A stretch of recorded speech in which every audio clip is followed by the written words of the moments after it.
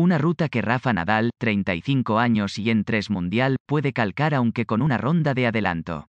Ya dejó atrás al italiano Sinner, 19 años y decimonoveno ATP, clasificado por decimoquinta vez para cuartos del torneo parisino, le espera su también amigo fue en la pista central Nadal y Sinner pasaron dos semanas juntos trabajando en la cuarentena australiana de Adelaida, se enfrentaron además de Eno con C de nada.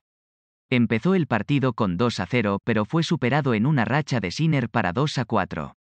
Con 3 a 5, el transalpino sirvió para set, como ya sucediera en 2020, donde tuvo incluso bola para cerrarlo. Si entonces remontó el español, ahora también. Una lección a los jóvenes con cualidades. No hay nada seguro hasta que está atado del todo. Parcial de 8 a 0 desde el 3 a 5 Nadal ganó ese juego, de 5 a 5, en blanco.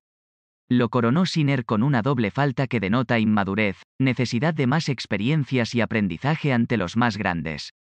Rafa aprovechó la debilidad del adversario para pasar el rodillo. En unos minutos no solo había ganado esta primera manga, sino que ya se había adelantado 4 a 0 en la segunda.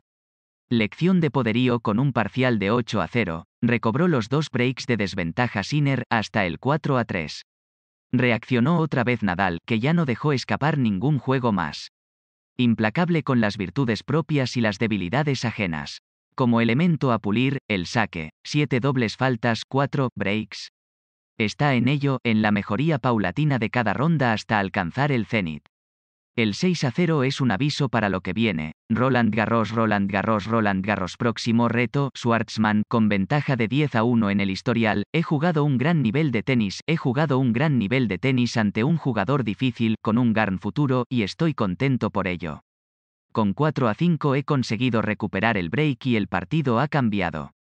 He vuelto a jugar bien, como cuando me había puesto 2 a 0 en el inicio, señaló Nadal en la entrevista en pista. Sobre Diego Schwartzman, siempre es un desafío, tengo que jugar bien.